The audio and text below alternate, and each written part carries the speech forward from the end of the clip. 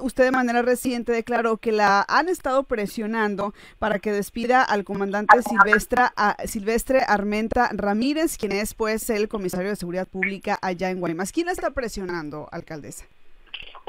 Mira, eh, hay, hay grupos de poder que están queriendo, este, pues, ¿cómo te diré? Queriendo imponer su voluntad. Pero te voy a decir una cosa. El comandante Silvestre es una persona que tiene más de 30 años, eh, pues, trabajando como policía y no tiene absolutamente ningún tipo de, pues ninguna tasa, ¿no? O sea, es una persona honesta, es una persona que no recibe dinero de nadie, este, recibe su sueldo ya, es una persona este, intachable a toda prueba. Nadie, este, nadie duda esa, esta situación.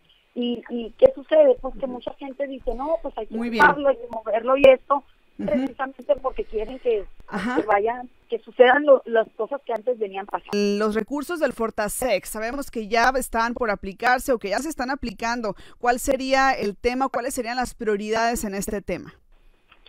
Bueno, ahí te quiero decir que gracias a la visita que hicimos este, con el presidente de la República que instruyó al doctor Alfonso Durazo que nos atendiera, pues inmediatamente llegaron aquí a Guaymas este, 98 elementos de, de la policía este, del gobierno federal y esto pues nos, nos dio mucho gusto porque se trabaja de manera coordinada tanto con el Estado como con la Federación.